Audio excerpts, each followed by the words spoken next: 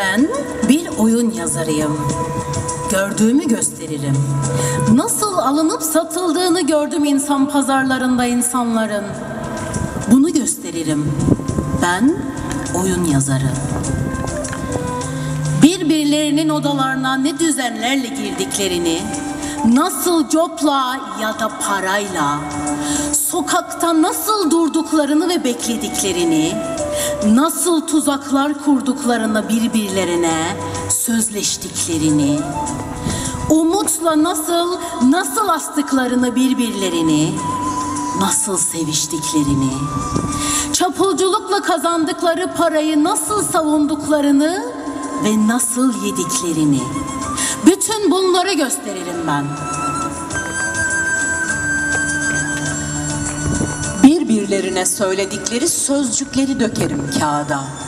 Ananın oğluna neler söylediğini, işçiye neler buyurduğunu patronun, nasıl yanıt verdiğini, karının kocaya, tüm yalvaran sözcükleri, tüm buyuran sözcükleri, yaltaklanan sözcükleri, aldatan sözcükleri, yalan söyleyen, güzel ya da yaralayan bunları kağıda dökerim ben. Yaklaşan kar fırtınalarını görürüm ve yaklaşan depremleri, yolu tıkayan dağları görürüm ve yataklarından taşan nehirleri. Ama şapkaları var kar fırtınalarının. Depremlerin cüzdanlarında paraları. Dağlar gelirler arabalarından inerek.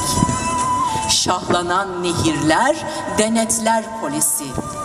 Ben ışığa çıkartırım bunların hepsini. Gösterebilmek için gördüklerimi başka halkların, başka çağların oyunlarını okurum. Bir iki oyun yazdım. İnceleyerek iyice o zamanın tekniğini ve kaparak işime yarayacak olanı. İngilizlerce nasıl sunulduklarını inceledim büyük feodal kişilerin. İnceledim zengin kişileri ki onlar için dünya sadece öz gelişimleri içindi. Ahlakçı İspanyolları inceledim.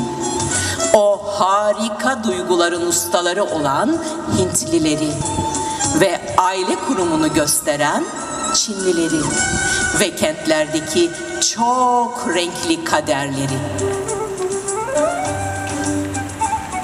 Kentlerin ve evlerin görünümü benim zamanımda öylesine çabuk değişiyor ki iki yıl ayrılıp geri geldin mi olursun bir başka kente yolculuk gibi.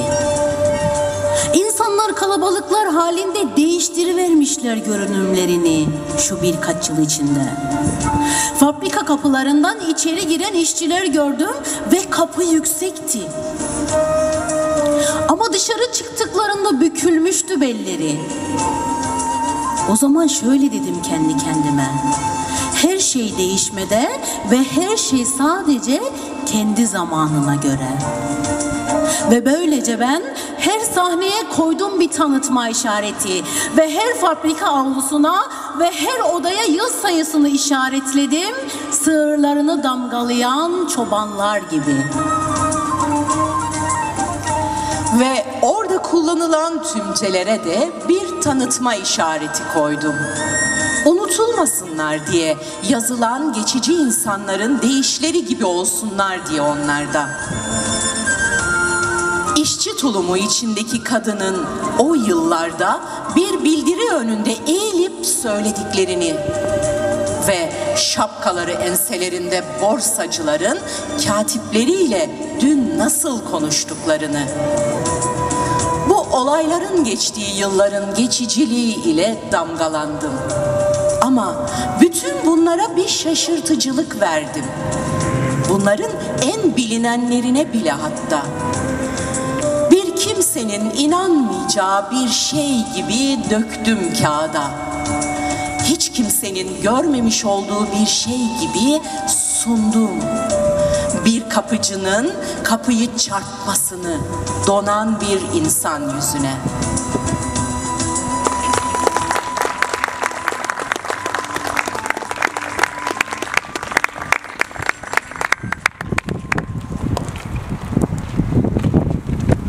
Teşekkür ederiz. Bertolt Brecht uyutan değil, uyandıran tiyatrosuyla, büyüleyen değil, direnişe çağıran epik tiyatro anlayışıyla tiyatromuzda ilham aldığımız yazarlardan bir tanesi. Şimdi tiratlarımıza geçeceğiz yavaş yavaş. Kısa monologlar hazırladık sizler için. İlk tiradımızı sahneleyecek olan Şifa arkadaşım hazırlanırken ben size oynayacağımız değil, oynayamayacağımız bir tirattan biraz bahsedeyim. Biliyorsunuz biz amatör bir tiyatro topluluğuyuz. İçimizde farklı mesleklerden kişiler var. Ee, hiçbirimiz tiyatro sanatçısı değiliz. Kimimiz öğretmeniz, kimimiz öğrenciyiz, kimimiz kamu emekçisiyiz, kimimiz hemşireyiz. Hemşire bir arkadaşımız da sizler için Dario Fo'dan bir tirat hazırlamıştı bugün sahnelemek üzere. Fakat mesleği gereği temaslı oldu ve bugün aramıza katılamadı. Biz Serap Hemşire'nin şahsında bütün sağlık çalışanlarına buradan alkışlarınızla bir teşekkür edelim. Az sonra sahneleyeceğimiz tiratlarımızdan ilki Dinçer Sümer'in Eski Fotoğraflar oyunundan Sevtap tiradı. Sevtap bir konsomatris.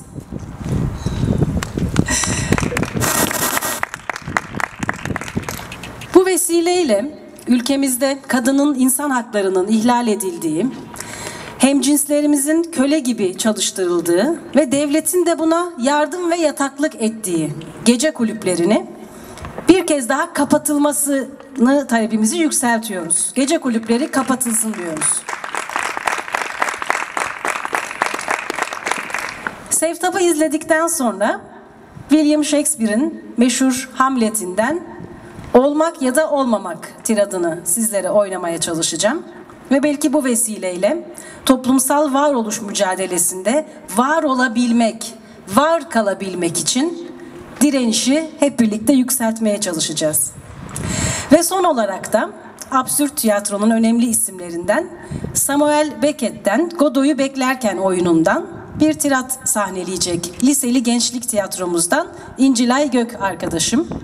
Bu online eğitimin sancıları içerisinde, devletin yarattığı fırsat eşitsizliğinin sancıları içerisinde çalışmalarımıza gerek internet üstünden gerek derneğimizde buluşarak katıldı ve liseli gençlik tiyatromuzun da sahnede olacağı bir tirat hazırladı sizlere. Evet hazırsan Şifa, Sevtap pardon. O zaman ben sahneyi Sevtap'a bırakıyorum.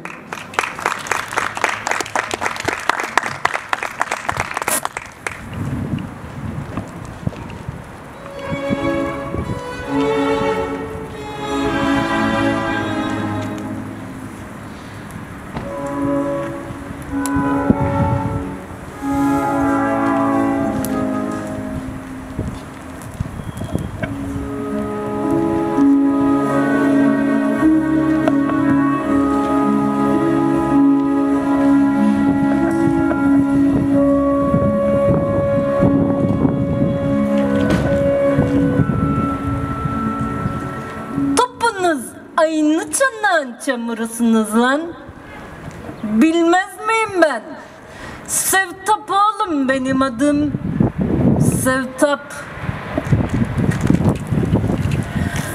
Var yetimde şöyle bir bakarım da çevreme. Ulan hiçbir Adem badem gözlü Sevtap'ın gözünün içine bakmaz. Milletin aklı fikri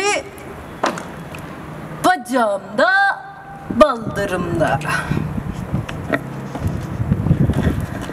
Ah, ah.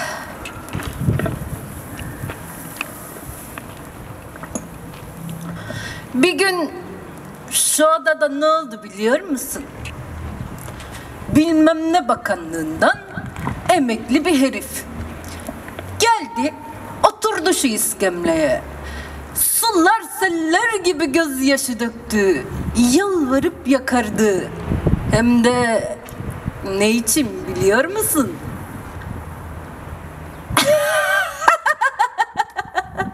yok lan yok. O iş için değil. Yüz yaşında vardı belki manyak. Kullanılmış donlarımdan birini ona hediye etmem için. Ya. Bir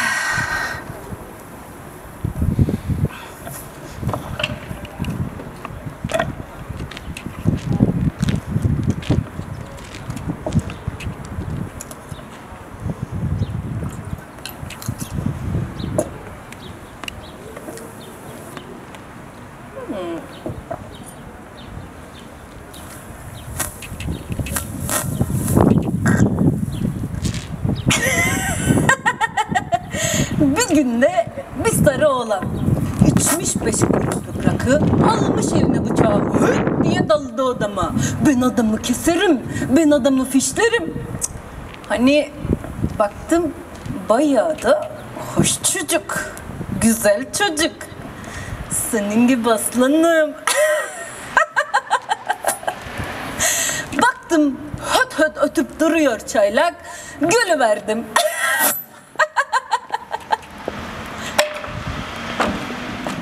Lan dedim. Muhallebici. Bu mu lan istediğin? Sana öyleyse. Soyunu verdim anadan doğma. Nah fincan gibi oldu düktürün iki gözü. Şaşırdı kaldı. Tir tir titriyor anasının kuzusu. Gel dedim. Gel. Gel. Şöyle bir gittim üstüne. Attı bıçağı kaçtı. İşte o günden beri durup durur bıçağı. Of of. Kolay mı oğlum seftap olmak? Benim hayatım roman be. Gördün mü Veli Bey hop kafasını? Geçen gün azıcık be. Siz bakmayın şimdiki kızlara. Hepsi çürük çarık. Teneke barka hepsi. Tek bildikleri boşanmış zemberek gibi hii gülmeler. Heriflerin bacaklarına masa altından bacak sürtmeler. Ulan konsomasyonda etimi erkek elleştirmiş karı değilim ben. Ama muhabbetim var benim. Anlarım erkek ruhundan.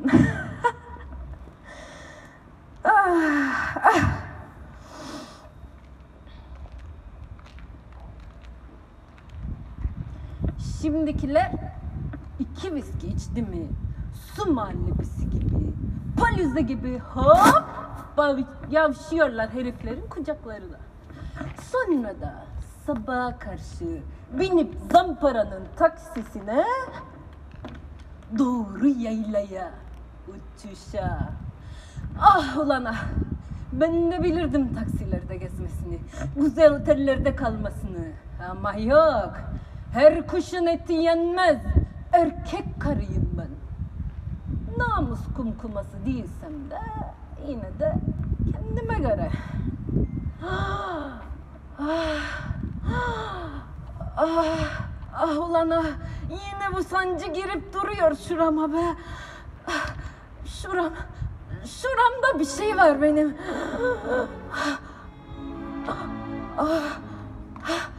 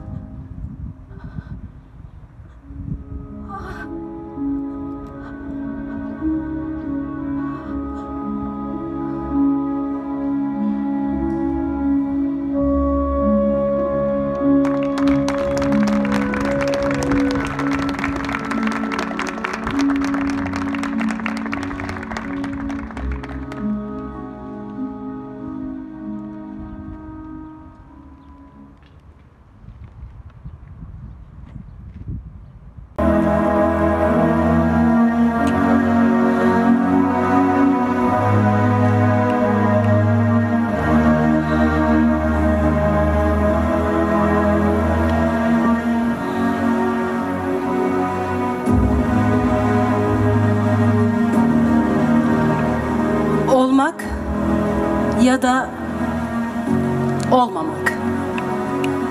İşte bütün mesele bu. Düşüncemizin katlanması mı güzel zalim kaderin yumruklarına, oklarına? Yoksa diretip bela denizlerine karşı dur, yeter demesini.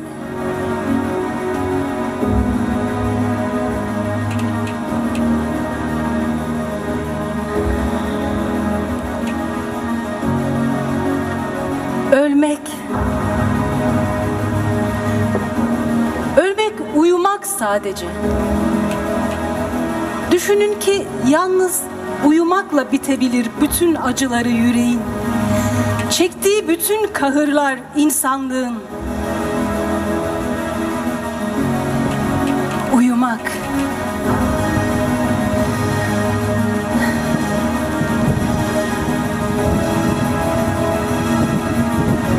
Ama düş görebilirsin uykuda. O kötü, çok kötü. Çünkü o ölüm uykularında sıyrıldığımız zaman yaşamak kaygısından ne düşler görebilir insan. Düşünmeli bunu. İşte bu düşüncedir uzun yaşamayı cehennem eden. Yoksa kim dayanabilir zamanın kırbacına, zorbanın kahrına, gururunun çiğnenmesine, sevgisinin kepaze edilmesine, kanunların bu kadar yavaş, yüzsüzlüğün bu kadar çabuk ilerlemesine, kötülere kul olmasına iyi insanın. Bir bıçak saplayıp göğsüne kurtulmak varken kim ister ki bütün bunlara katlanmak? Ağır bir hayatın altında inleyip terlemek.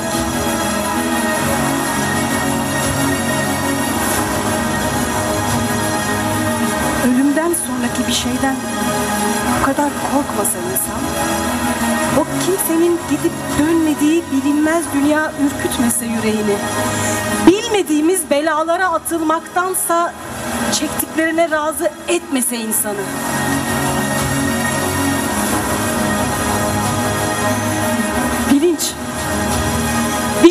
Böyle korkak ediyor hepimizi. Düşüncenin soluk ışığı bulandırıyor yürekten gelenin doğal rengini. Ve nice büyük, nice yiğitçe atılışlar yollarını değiştirip bu yüzden bir iş, bir eylem olma gücünü yitiriyorlar.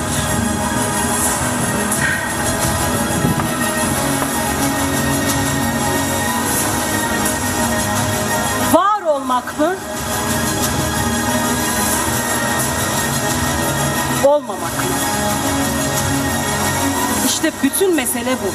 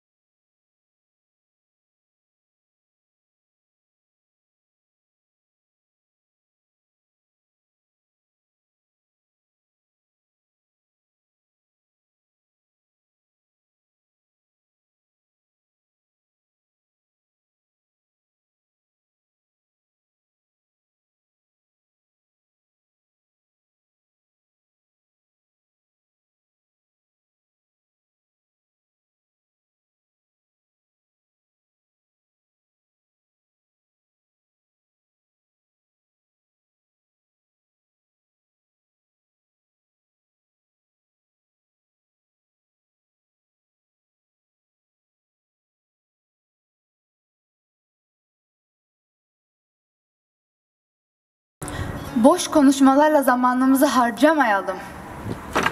Fırsat varken bir şeyler yapalım. Her gün birilerinin bize ihtiyacı olmuyor.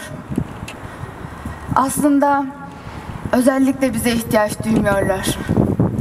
Başkaları da daha iyi olmasa bile aynı derecede bizim yaptıklarımızı yapabilirlerdi.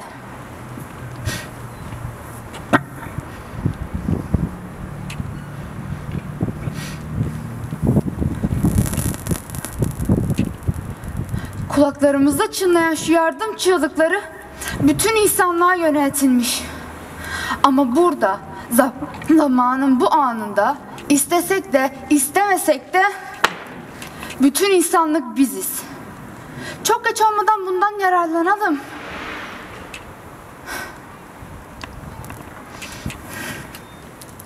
Zalimce bir alın yazısının bize layık gördüğü bu iğrenç güruhu hakkıyla temsil edelim. Ne dersiniz?